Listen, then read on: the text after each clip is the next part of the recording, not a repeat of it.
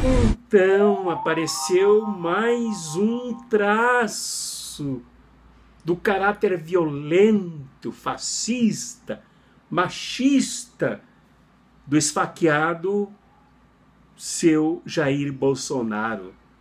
Esfaqueado, e não digo isso aqui com nenhuma ironia, digo até com tristeza, mas lamento porque ele mesmo gerou esse ódio do esfaqueamento contra ele. E por pouco, por poucos milímetros, não o matou. Mas o seu Jair Bolsonaro, conforme denúncia da Folha de São Paulo, do campo de, da direita, ele tentou fuzilar a sua ex-esposa Ana Cristina. Ana Cristina Siqueira Vale, que se refugiou na Noruega para fugir ao atent a tentativa de fuzilamento. E o termo é dele, ele adora fuzilar as pessoas. Ele adora falar e fuzilar as pessoas. Teria que dar uma olhada melhor na história deste homem, se entre a fala e o fato do fuzilamento houve alguma coisa no seu passado. Mas o seu Jair Bolsonaro, então, aparece como aquele que tentou fuzilar, disse que fuzilaria, que teria vontade de fuzilar a dona Ana Cristina Siqueira Vale.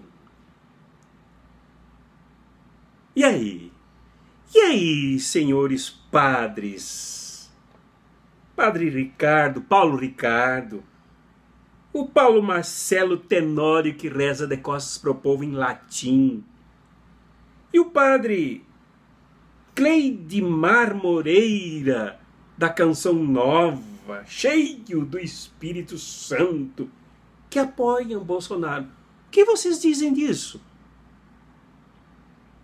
Alguém que tenta, que, que sente vontade de mandar fuzilar a ex-esposa.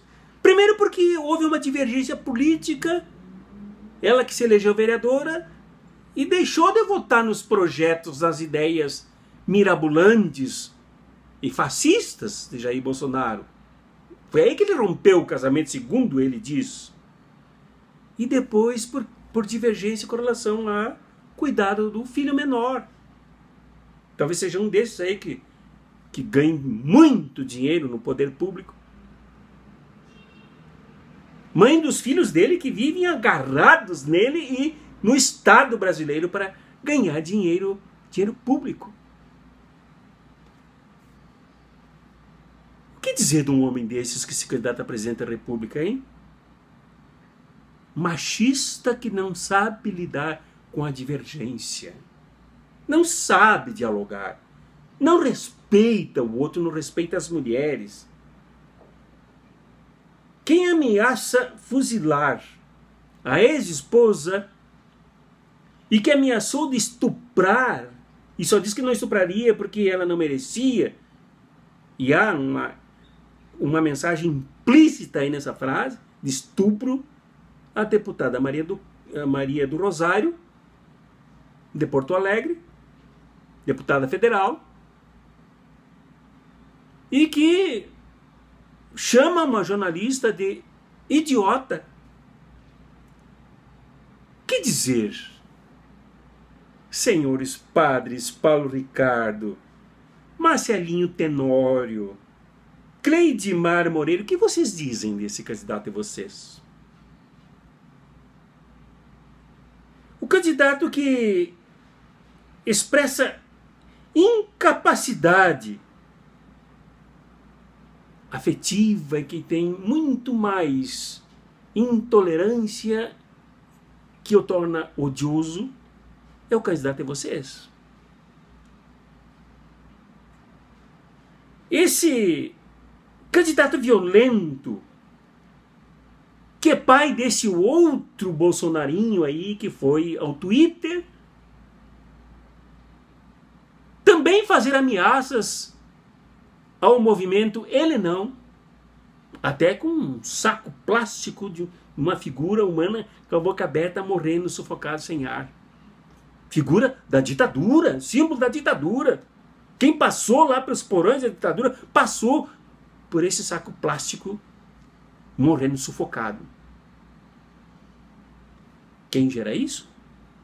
Né? Em seus padres e pastores, pastores que pregam ódio. Não é o candidato, é vocês. Prestemos atenção.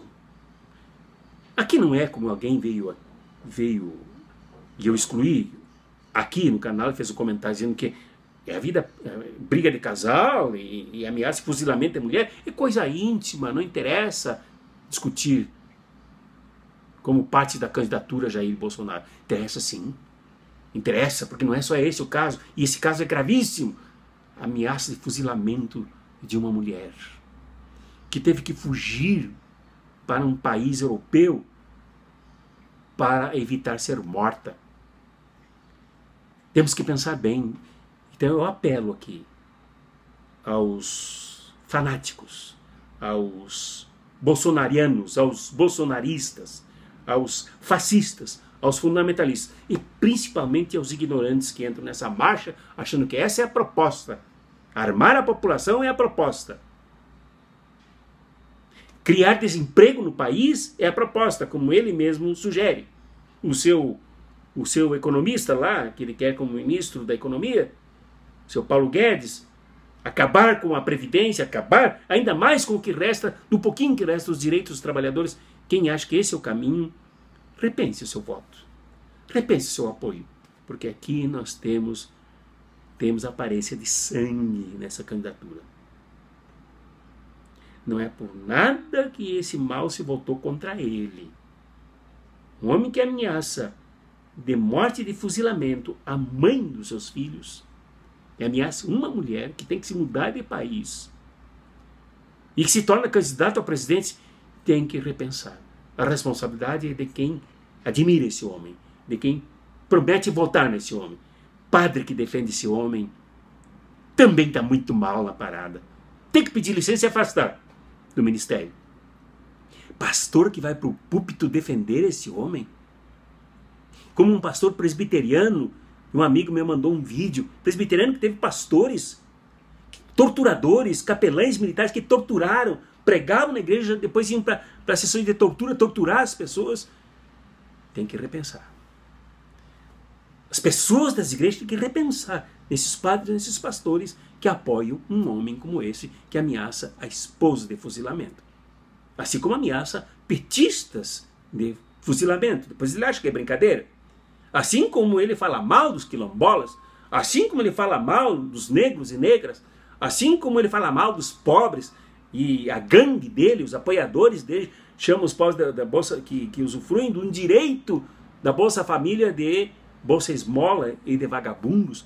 Tem que repensar nessa. Né? Não é possível. Quem vota na indignidade, indigno se torna. Quem vota num fascista se tinge do fascismo. Quem vota num violento é porque tem também traços violentos. Quem se inclina para o lado da sujeira se é suja também. Abraços críticos e fraternos, enquanto pensamos bem no, no que nós faremos no dia 7 de outubro. Participe diretamente do nosso canal e curta este e todos os vídeos que aqui publicamos. Inscreva-se em nosso canal. É uma forma de participar também. Acione o sininho para receber as novidades e os novos vídeos que aqui postamos. Compartilhe, compartilhe, compartilhe com, com cada vez mais pessoas os nossos vídeos daqui. E colabore. Olhe para esse banner aqui copie o link que aparece e vá lá no nosso blog cartasproféticas.org e faça a sua colaboração. Contribua com esse trabalho raro, com esse trabalho importante de análise das notícias e dos fatos obscurecidos para a maioria da opinião pública. Muito obrigado e o nosso abraço agradecido e carinhoso a cada um, a cada uma de vocês.